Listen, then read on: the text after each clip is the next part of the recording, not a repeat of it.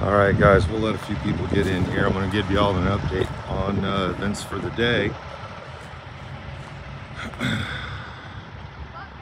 We've been watching the Reed trial from the Douglas County Judicial Center, and uh, the verdict came in today.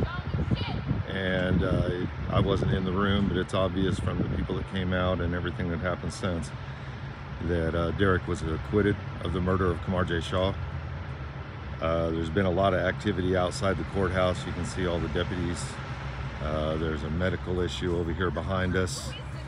Uh, there was quite a bit that happened uh, just as it ended. And uh, we have most of the Douglas County Sheriff's Department out here. I do. Kind of monitoring things. You know, I don't have a lot of details for you because the, the case itself was argued in court. I wasn't there for most of it uh, paid attention to a few of the things I heard, but definitely down here today to see the culmination of it. And you know, there's a there's a couple different factors that come into the impression behind this. You know how how when you seat a jury for a case like this that involves racial implications, why is the jury all white? That's a big question that happened. Sorry, I'm not trying to get you in there. I'm just doing a small news report. Um, that's one of the questions that, that the objectors of the verdict have. Um, now, Douglas County is what, what I heard was percentage 4% black, and they have that much in the jury pool. It's the optics of it that people are questioning, and, and that's that's a tough argument to have. There's a lot of hurt feelings on both sides, but in any case, the Reed verdict is out today. He was found innocent. Um,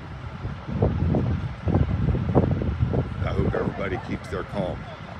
There's a lot of talk happening right now, and I hope it's just talk because uh, there's no need for people to go off doing doing stupid and just getting arrested. You can see all these police officers out here behind me.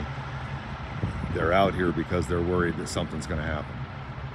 And uh, the good thing is, is most of this is the Douglas County Sheriff's Department. They're a lot less reactive um, than LPD is. And so I'm glad to see that the sheriff's taking the lead on this, which is their courthouse, and they should. Uh, but as far as the way it's handled, most of the officers have been pretty reasonable with them. There's one that I kind of question why he was talking back. It's not going to gain you anything. Just just let it go, man. It's people are upset right now. Um, while I got everybody in here, I'll just go ahead and tell you all this as well while I was in here earlier waiting for uh, waiting for this verdict, the sheriff come walking in through the doors into the judicial center.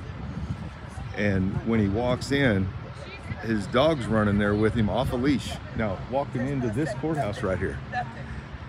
And when he walks in, his dog's just off a leash running through security. And it's, you know, what we've heard recently is that the sheriff somehow believes that he's not susceptible to a complaint because the only way to hold him accountable is at the ballot box. So there's no point in filing a complaint on him. Is that accurate? But uh, is the sheriff above the, the leash laws at least? Uh, you know, that's one of the funny things that happened today.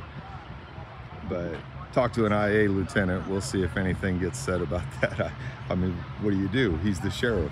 You gonna send the chief of police over to arrest him?